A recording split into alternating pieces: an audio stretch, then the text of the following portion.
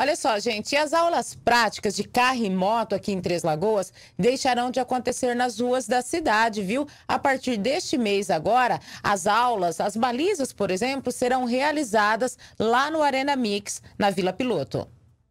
A falta de um local adequado para a realização das aulas práticas em Três Lagoas sempre foi alvo de reclamações por parte de alunos, dos proprietários de escolas, mas bem como de moradores de alguns bairros que reclamavam dos transtornos em algumas ruas da cidade. As balizas, que sempre foram alvo de reclamações de moradores, serão realizadas agora no Arena Mix, como explica o responsável pela administração do local, Otone Ávila Ornelas. É, exatamente, né?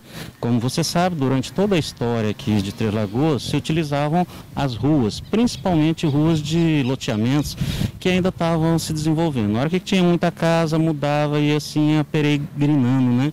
De local até local.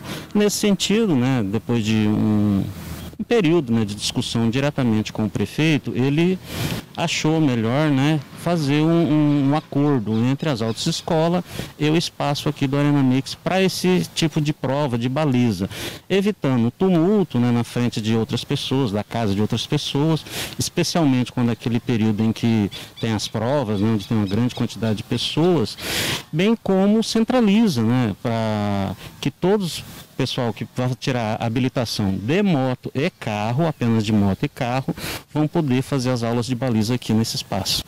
As aulas de baliza serão realizadas aqui no Arena Mix quando o espaço estiver totalmente sinalizado. E os centros de formação dos condutores vão utilizar esse espaço por um período de dois anos, até que o novo complexo do Detran, apropriado para isso, seja construído em Três Lagoas.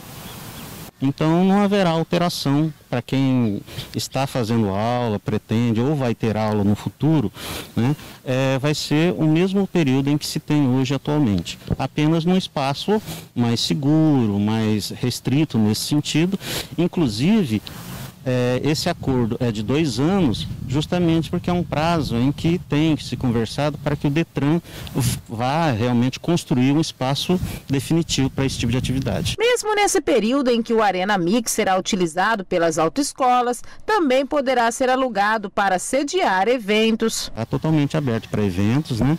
A gente já tem um, um pré-acordo, a gente vai terminar de costurar esses últimos detalhes do uso do Arena Mix, justamente para isso. Vai ter evento então, durante um, dois, três dias ou o dia do evento em si, é, poder usar de forma limitada para a autoescola ou não poder usar. Ainda vai continuar, inclusive nós já temos agendado para esse ano, né?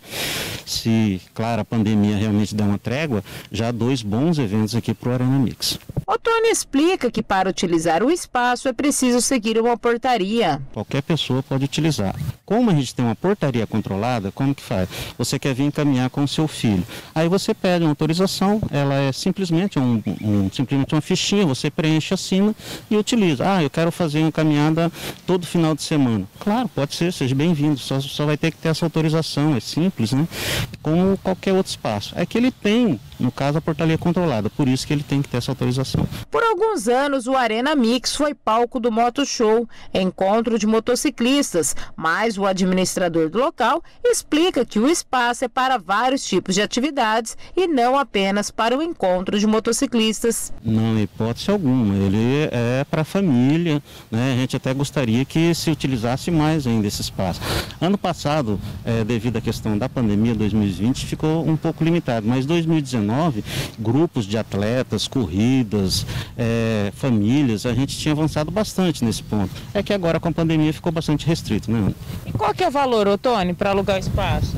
O valor aqui, ele depende da situação em si. É regulamentado através de um decreto, então chega ao ponto em que a prefeitura, né, ela pode é, decidir, quando é entidade filantrópica, até do não pagamento, até de uma taxa menor, até de a taxa maior, se for particulares, a taxa é, normal, e depende a quantidade de pessoas, até mil pessoas, depois de mil pessoas, acima de cinco mil pessoas, porque o, o local aqui consegue receber uma capacidade bastante significativa de pessoas.